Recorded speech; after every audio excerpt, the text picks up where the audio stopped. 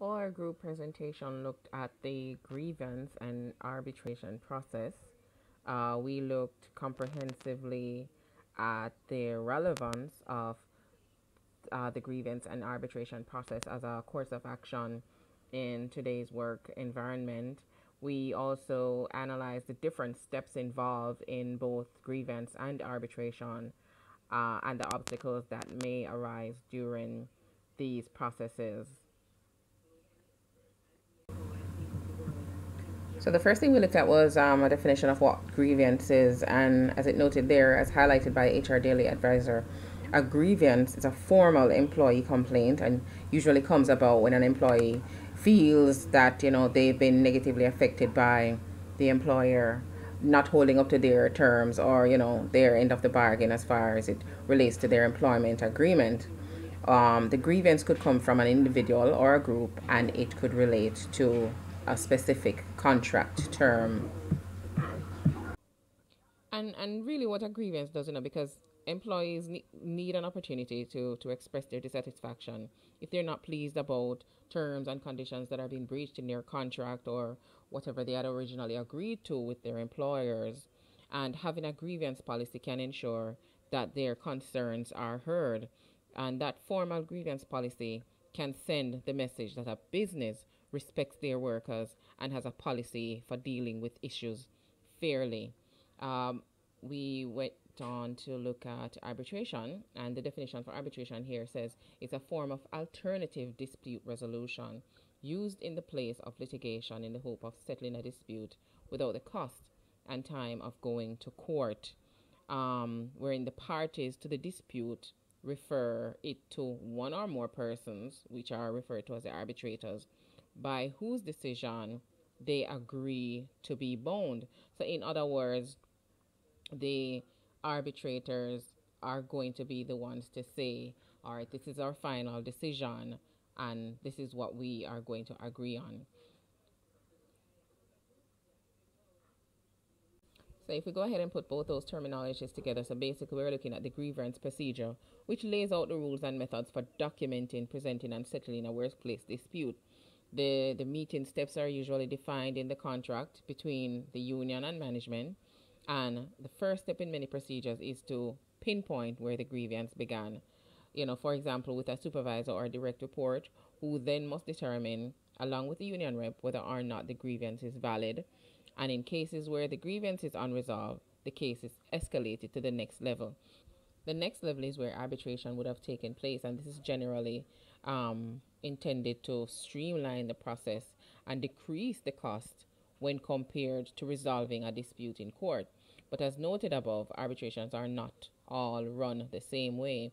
With some important exceptions, arbitration is generally thought to be more informal than litigation and is typically typically intended to provide a more streamlined, time-saving, and cost-effective method for resolving a potential legal dispute between an employee and so as noted before, you know, disputes will arise and when they arise, opportunity um, employees should be given the opportunity to file a grievance. And as with any process, the grievance process is, is no different. There is a typical sequence of events that must be followed. Uh, the process is composed of seeking redress of the grievance through progressively higher levels of authority and most often culminates in binding arbitration. Uh, first and foremost, a typical grievance procedure begins with an employee presenting a problem to his or her immediate supervisor within a certain time period after the offending event has occurred. Secondly, the supervisor, supervisor then has to set, a, set an amount of time to either respond or send the grievance on to be addressed by the head of the department. At this point, union representatives enter the negotiations on behalf of the employee. If the situation is not resolved, the grievance continues up the chain of command to the president of the local union. Uh, if the lo- labor union fails to follow the procedure at any point, the contract usually specifies that it must drop the grievance. Uh, conversely, if the company if the company is usually obligated to resolve the grievance in the employee's favor if management fails to follow the procedure outlined in the collective bargaining agreement. And finally, if the situation still cannot be resolved, the final step in the grievance process is for both parties to present their side to a pre designated arbitrator. Once it gets to the arbit- arbitration stage, it also follows a series of steps. Uh, the, num- the first step is the filing and initiation step, which basically says the arbitration case begins. Uh, one party submits a demand for arbitration. Uh, the other party, which is respondent, is notified by the arbitral tribunal and the deadline is set for response. Uh, secondly, the arbitrator is selected. So the arbitral tri- tribunal, tribunal works with the parties to identify and select an arbitration based on the criteria determined by the parties. Then there is a preliminary hearing where the arbitrator conducts a preliminary hearing with both parties to discuss the issues in the case and procedural matters such as witnesses, dispositions, sharing information and other matters. Then there's information exchange and preparation. So the parties then prepare for presentation and exchange information. Then there is the hearing. At the at the hearing, both parties may present testimony and evidence to the arbitrator. Uh, unless the case is very complex, this is usually the only hearing before the arbitrator. Then we go to the post hearing submissions. Uh, this is where the parties present any additional documents or documentations they have as allowed by the arbitrator. Then there is the award, and this is where this is the final stage basically where the arbitrator does the closes the record on the case and issues a decision, including an award if it is applicable. So while it may seem that way, uh, grievance procedures do not have to be formal or elaborate.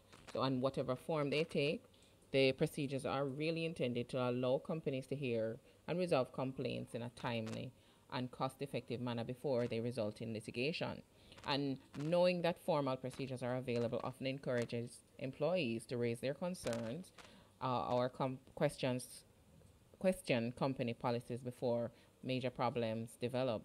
And it, it also tends to make managers less likely to ignore these problems because they know that upper management may become involved through the process or the grievance process. Also, in a union setting, grievance procedures help to protect employees against arbitrary decisions of management regarding discipline or promotions or benefits. They also provide labor unions and employees with a formal process for enforcing the provisions of their contracts. So, all, although having grievance procedures in place is important in both a union and non union setting, companies must support their written, written policies with consistent action. So, if you know, if they hope to maintain good employee relation, relations.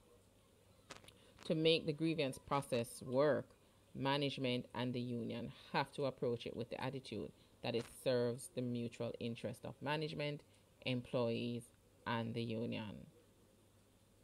So, in closing, you know, we really, the, the, the, grievance and arbitration process, for it to be effective, you know, both employee and employer really need to be looking at it as a, a positive force that can facilitate open discussion of issues.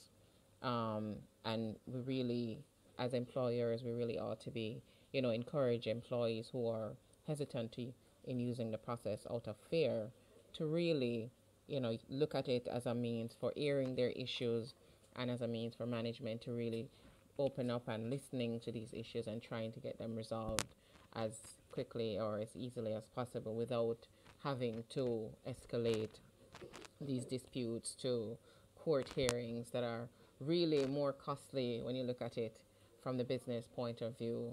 So, um, you know, we we want to thank you for listening to our presentation and hopefully something new has been passed on to someone